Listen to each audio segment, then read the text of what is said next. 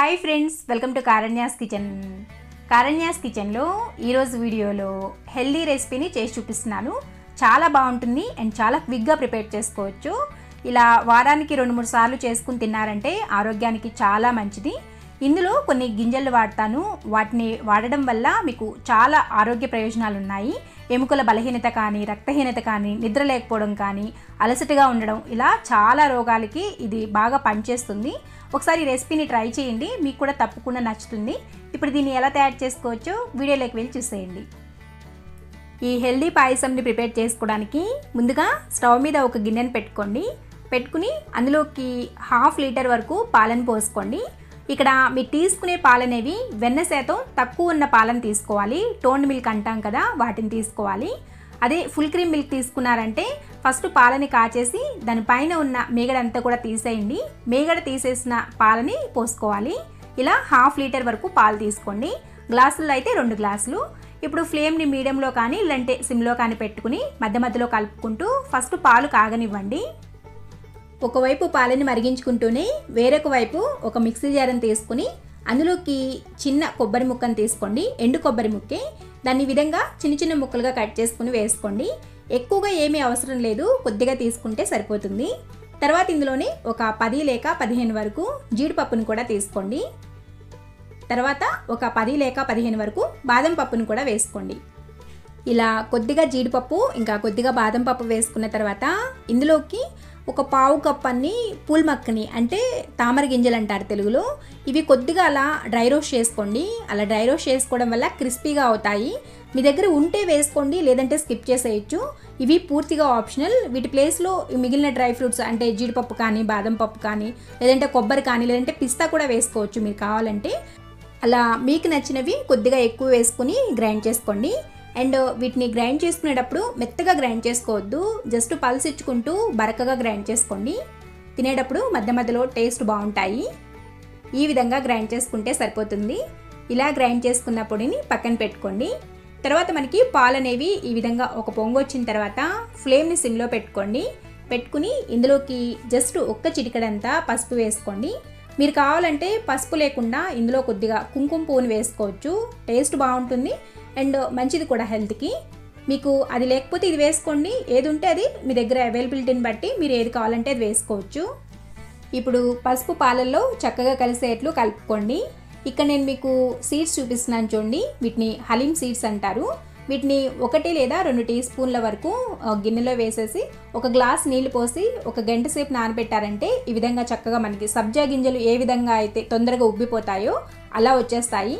మీకు టైం ఉంటే over night అయినా నానబెట్టుకోవచ్చు అట్లీస్ట్ వన్ అవర్ కంపల్సరీగా నానబెట్టాలి అండ్ మీలో చాలామందికి ఈ గింజల గురించి తెలియకపోవచ్చు. వీటిని డ్రై ఫ్రూట్ షాప్లో కానీ లేదంటే పాత పచారీ షాపులు ఉంటాయి కదా వాటిల్లో కానీ ఈజీగా దొరుకుతాయి. లేదంటే నేను ఆన్లైన్ లింకు కింద డిస్క్రిప్షన్లో ఇస్తాను. మీరు డైరెక్ట్గా దానిలోకి వెళ్ళి పర్చేస్ చేసుకోవచ్చు. ఈ హలీం సీడ్స్ని ఆలివ్ సీడ్స్ అని కూడా అంటారు. పాలు పసుపు వేసుకున్న తర్వాత జస్ట్ ఒక్క నిమిషం పాటు లో ఫ్లేమ్లో మరగనివ్వండి. మధ్య మధ్యలో కలుపుకుంటూనే ఉండాలి మేగడ కట్టకుండా. తర్వాత ఇందులోకి మనం ముందుగా గ్రైండ్ చేసి పెట్టుకున్న పొడి వేసుకోండి.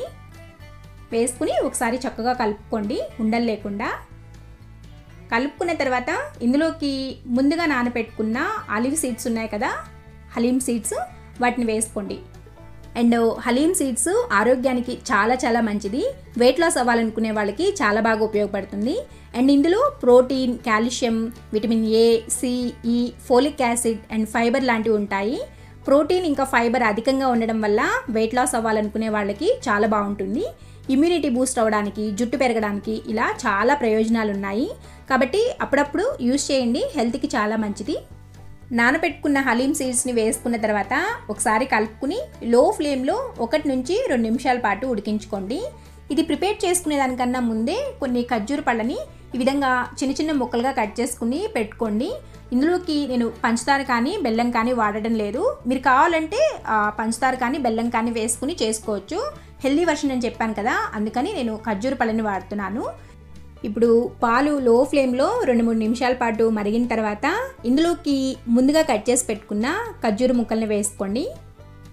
ఇక్కడ ఇన్నే వేసుకోవాలి అని ఏం లేదు. మీరు కొంచెం స్వీట్ ఎక్కువ ఇష్టపడే వాళ్ళైతే ఎక్కువ వేసుకోండి. లేదంటే కొంచెం తగ్గించి వేసుకోండి. మీరు తినే స్వీట్కి తగ్గట్లుగా యాడ్ చేసుకోండి. చెప్పాను కదా మీరు కావాలంటే బెల్లం కానీ పంచదార కానీ ఇలా మీకు నచ్చింది వేసుకోవచ్చు. వేసుకుని చక్కగా ఒకసారి కలిసేట్లు కలుపుకుని లో ఫ్లేమ్లోనే మరొక రెండు నుంచి మూడు నిమిషాల పాటు ఉడికించుకోండి. ఖర్జూర పళ్ళు వేసుకున్న తర్వాత ఇందులోకి ఒక పావు టీ స్పూన్ అంత యాలకుల పొడిని వేసుకోండి. ఫ్లేవర్ కోసం చాలా బాగుంటుంది. వేసుకుని ఒకసారి కలుపుకుని ఒక రెండు నిమిషాల పాటు లో ఫ్లేమ్లో ఉడికించుకోండి. అండ్ ఇక్కడ నేను మీకు చూపిస్తున్నాను చూడండి చక్కగా మనకి కన్సిస్టెన్సీ కూడా పర్ఫెక్ట్గా ఉంది. ఇంతకన్నా చిక్కగా చేసుకోవద్దు. చల్లారాక ఇది ఇంకా చిక్కపడుతుంది. అందుకని ఈ కన్సిస్టెన్సీలో స్టవ్ ఆఫ్ చేసుకోండి. ఒకవేళ మీకు ఖర్జూర పళ్ళు వేసుకోకముందే మరీ చిక్కగా అయిపోయింది అని అంటే కొద్దిగా నీళ్ళని పోసుకుని కలుపుకోవచ్చు. ఏం ప్రాబ్లం ఏం లేదు. కలుపుకుని ఆ తర్వాత ఖర్జూర పళ్ళని వేసుకుని ఉడికించుకోండి. ఈ పాయసంని నేను చూపించిన క్వాంటిటీలో కరెక్ట్గా ఫోర్ మెంబర్స్కి సర్వ్ చేయొచ్చు. అండ్ వేడి వేడిగా తింటేనే దీని టేస్ట్ బాగుంటుంది. చల్లారిన దానికన్నా కూడా. అంతే సూపర్ హెల్దీ అయిన పాయసం రెసిపీ అయితే రెడీ అయిపోయింది. మీరు కూడా మీ ఇంట్లో తప్పకుండా ట్రై చేయండి. హెల్దీ కదా? ట్రై చేశాక మీకు ఎలా వచ్చిందో కూడా కింద కామెంట్ సెక్షన్లో కామెంట్ చేసి చెప్పండి. మీకు ఈ వీడియో కానీ నచ్చినట్లయితే ప్లీజ్ వీడియోని లైక్ చేయండి. అండ్ ఈ వీడియోని మీ ఫ్రెండ్స్కి రిలేటివ్స్కి షేర్ చేయండి. ఎవరికైనా ఉపయోగపడుతుంది కదా? మరిన్ని ఎమ్మీ అండ్ టేస్టీ రెసిపీస్ కోసం కారణ్యాస్ కిచెన్ని సబ్స్క్రైబ్ చేసుకోండి. అండ్ పక్కనే ఉన్న గంట సుమ్మను కూడా నొక్కండి. Thanks for watching